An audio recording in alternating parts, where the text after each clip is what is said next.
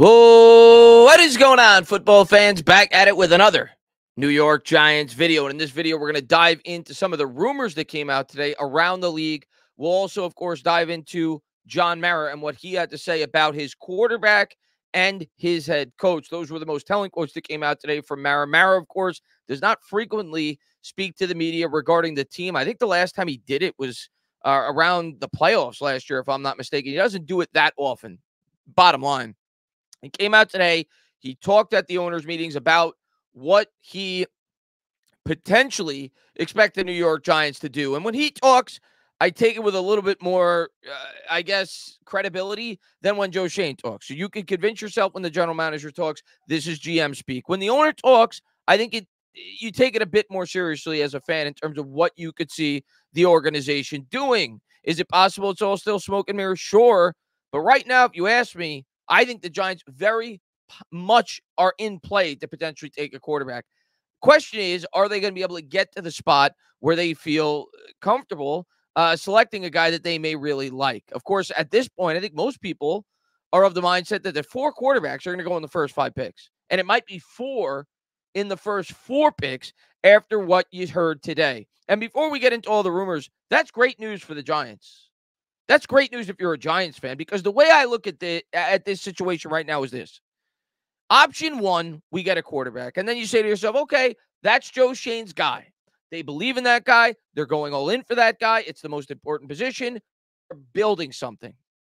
Option 2, they don't believe enough in one of these quarterbacks to trade up to one of these spots and they get a an elite player if four quarterbacks go in the first four picks suddenly Marvin Harrison Jr. looks like a strong possibility.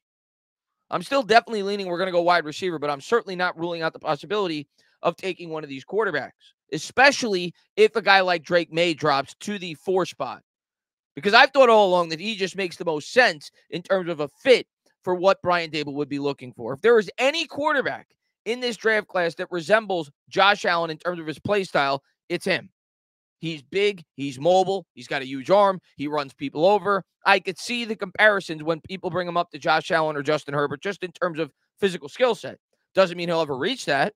You know, people would have said great things about several quarterback prospects that didn't reach their ceiling, but the ceiling is certainly high with Drake Maye, and he just seems to be the type of quarterback that the New York Giants may look for.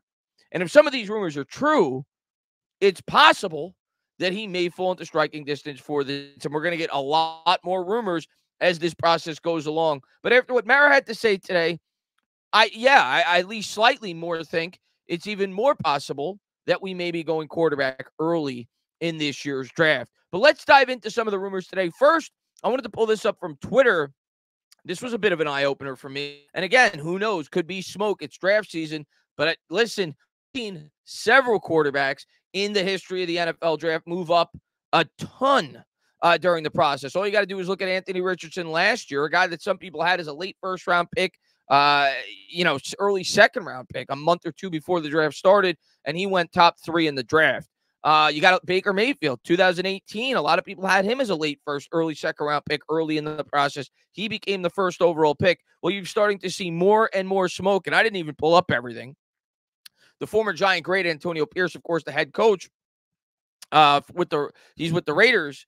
He went on to talk about how he feels that how, I don't know how anybody could have JJ McCarthy out of their top three quarterback prospects. So this is starting to gain more and more traction. As I've talked about in some of my previous videos, I've always been a fan of JJ McCarthy. Not necessarily a fan of taking him in the top six. Um, wouldn't scream, as I've said several times, wouldn't be my preference. I do think it's too much of a gamble for the Giants, but if they were to do it, okay. But I can certainly see why he's gained more traction.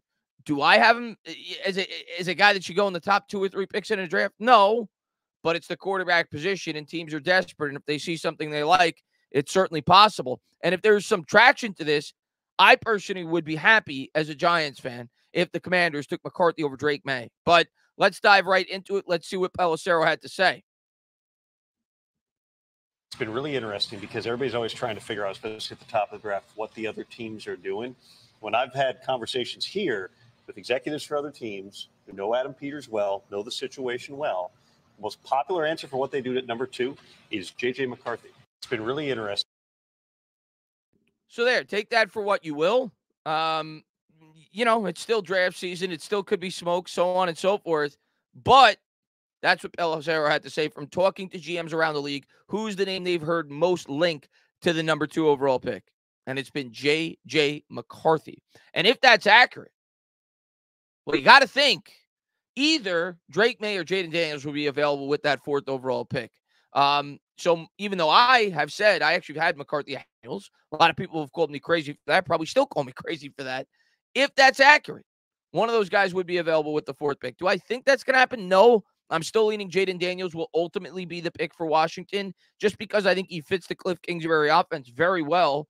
And obviously, he's a very highly thought of prospect, so on and so forth.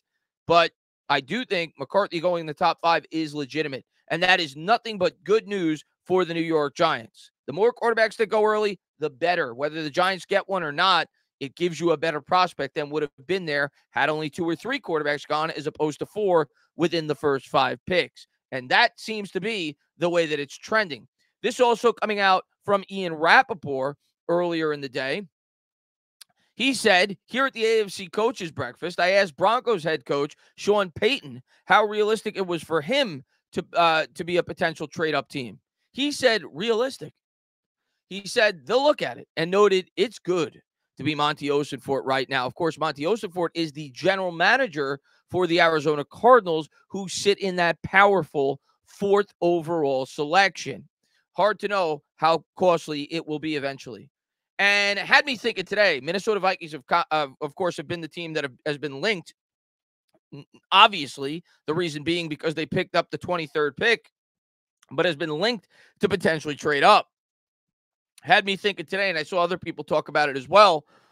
They may be looking to move up to six and potentially trade up from there to move up to four to get to Arizona because Arizona may not want to fall that far back. If you're the Cardinals, you look at it like, well, there's some elite wide receiver prospects here. I'm potentially giving up the ability to take Marvin Harrison Jr. or Malik Nabers. If I'm able to just drop the six, I could still get one of those elite wide receivers and get future draft capital. So if the Giants obviously were the team, it would make sense. But if the Giants didn't want to trade up, it could make sense for a team like Minnesota to get up to six before making the jump to four to get up to Arizona. How could a trade like that work out? Well, you think about it, you say from a Giants perspective, well, maybe they offer the 11th pick and a future first to the Giants to jump from 11 to 6. And then that 23rd overall pick left over, maybe they offer 6, 23 uh, to move up to number four.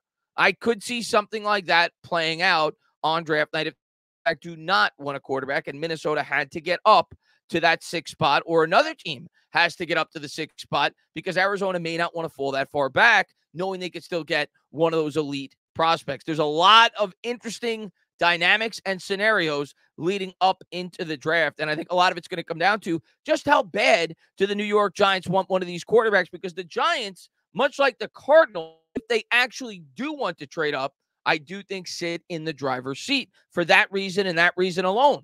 They have as much, if not more, to offer than any other team. And that pick is so much more, more valuable to a team like the Cardinals than trading back all the way to 11. So if the Giants don't want to make that move, they certainly may have some offers on the table for teams looking to move up to six. But the Giants could just look at it like, well, we could sit pretty here, hope a team trades up into the top four if they don't want a quarterback, and we're going to end up with either Harrison or Nabers. So I think it's nothing but good things right now for the New York Giants in terms of the way that this draft seems to be evolving and shaping up. Um, and we'll see if ultimately they trade up for a quarterback or if they, they stand pat and take one of these wide receiver prospects. Now we're going to dive into some of the quotes today that came out from Mara. We'll first talk about the quotes regarding Brian Daboll. This coming out from a New York Post article. And then we'll dive into some of the quotes from Raanan when he spoke specifically about the quarterback position. Certainly last season was a huge disappointment to me, especially coming off a playoff year, co owner John Mara said Monday after the NFL's annual meeting. I still believe we're headed in the right direction. I have all the confidence in Joe and his staff and in Brian Daboll and his staff. I think the communication is terrific. I think the process they go through is great. And I do think we're headed in the right direction. Obviously, until we start winning games, not everyone's going to buy into that. But I happen to believe it. We'll see how much he believes it at the end uh, we'll see how this team does this year, but good to hear the owners say that never. What do you expect them to say? Then he went on to say, I think you always have to give them positive reinforcement from time talking about, I think, the head coach and the general manager. And I think I've done that, Mara said. Have I made them any guarantees? No, I haven't. But I think they both know that I believe in them. And it's hard to give guarantees in the NFL. It's a short shelf life position, whether it be a head coach or a general manager. It's a what have you done for me lately league. That's just the reality of the situation. Then he went on to say there are times where I wish he would tone it down a little bit, talking about Daboll here. But I'm also in the team meetings and I see how he acts around people and in the coach's office, Mara said. He always maintains his cool. Does he get excitable during the game? Sometimes, yeah. So do I. I don't think that's a major issue. Then, this coming out from Jordan Raanan of ESPN. If they fall in love with a quarterback and believe that it's worth the number six or even moving up, I certainly would support that, Mara said Monday via ESPN. Continued to say, I know they're locked in at the quarterback. You've seen that, Mara said. They've gone to some of the pro days. We've had some of these guys in. I don't think they're even close to making a final decision as to which way they're going to go on that. Those discussions will happen over the next few days. Then he continued. I still have a lot of confidence in Daniel Mara told NFL Network insider Mike Garafolo in an interview on Monday. I think Dan- with Daniel, we saw in 2022 is the real deal.